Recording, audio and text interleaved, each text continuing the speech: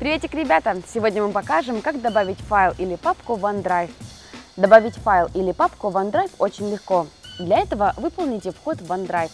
Теперь кликаем «Добавить». Выбираем файл. Выбираем нужные файлы и нажимаем «Открыть». Мы успешно добавили файлы. Еще добавить файлы можно просто перетащив их с компьютера в OneDrive. Теперь добавим папку. Нажимаем «Добавить», далее «Папка». Выбираем нашу папку и нажимаем «Ок».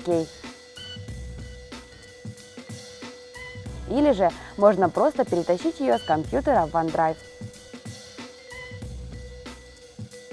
Всем спасибо за просмотр. Не забывайте про лайки, писать свои комментарии, подписываться на наш канал. Пока-пока.